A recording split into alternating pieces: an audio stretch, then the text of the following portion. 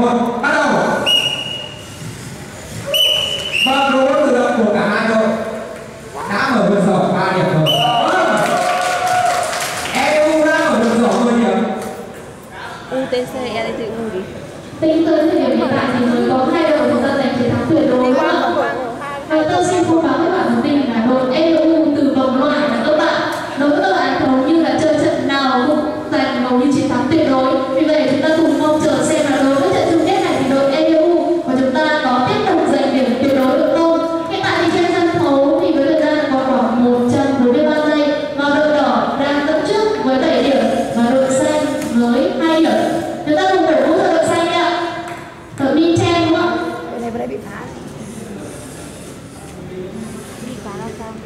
Vậy xem đội nào sẽ giành được giỏ ba điểm đầu tiên.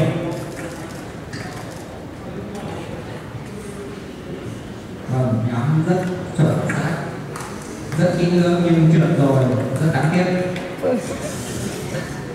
Số ngón tay của đội xanh vẫn miệt mài lấy bóng. Dành gặp tuổi thanh xuân đánh bóng không được. Vâng, số một tay của đội xanh. Làm đến giỏ ba điểm Liệu có chính xác hay không?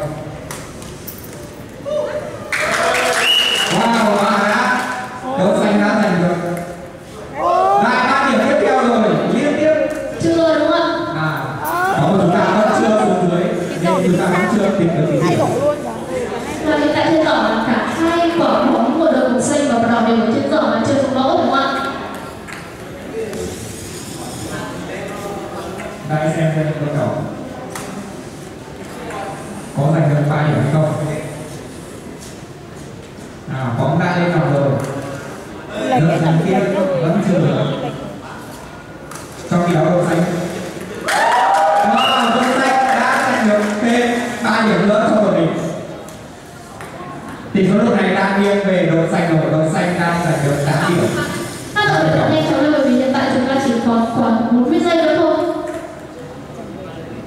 chúng ta tiến đến giành được tuyệt đối không ạ? Rất khán giả cùng cổ cho đội đỏ ạ. Đội đỏ cố lên em cùng cố. Chúng ta có một đội đỏ đúng không ạ? Chưa có chưa có bóng ở sổ ba điểm thì vẫn chưa có chưa có điểm.